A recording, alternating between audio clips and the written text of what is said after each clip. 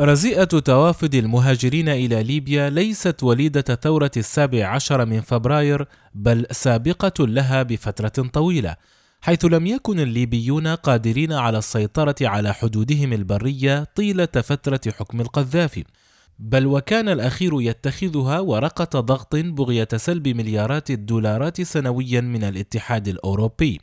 مقابل تأمين القارة العجوز زد على ذلك التعتيم الممارس على ملف الهجرة.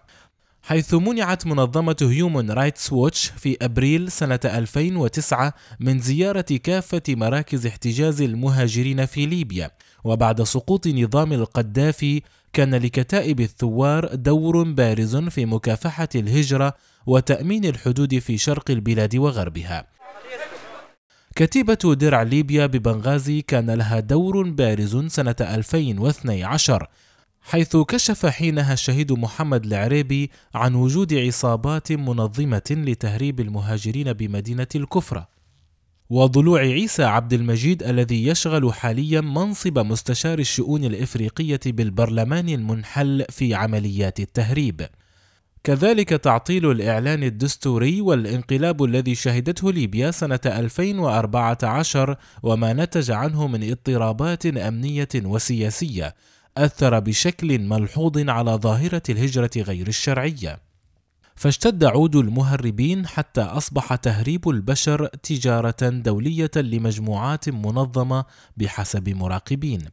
ولم تستطع الحكومة المقترحة المنبثقة عن اتفاق الصخيرات تأمين الحدود الجنوبية للبلاد خاصة بعد انسحاب القوة الثالثة المكلفة من قبل المؤتمر الوطني بتأمين وحماية الجنوب، الأمر الذي أسهم في نشاط شبكات المهربين في العامين الماضيين حيث يعبر عشرات آلاف المهاجرين سنويا من مركز القارة السمراء إلى ليبيا بغية الوصول إلى أوروبا.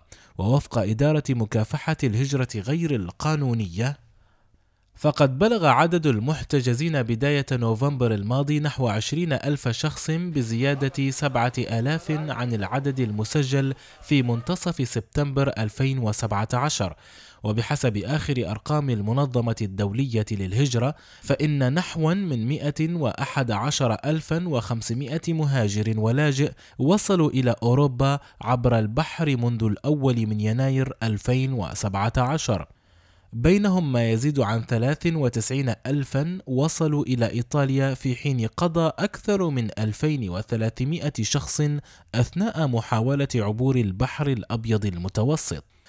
هذا وقد شهد شهر نوفمبر 2017 اهتماما دوليا كبيرا بملف الهجرة عبر تقرير لقناة السي إن إن زعمت فيه أن أسواقا للنخاسة تقوم في طرابلس.